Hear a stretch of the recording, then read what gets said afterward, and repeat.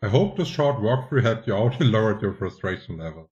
If you want to help me out, please subscribe to the channel, like the video and turn on your notifications. If any questions are still open, leave a comment below the video. I will answer all comments in less than 24 hours as your service. Cheers!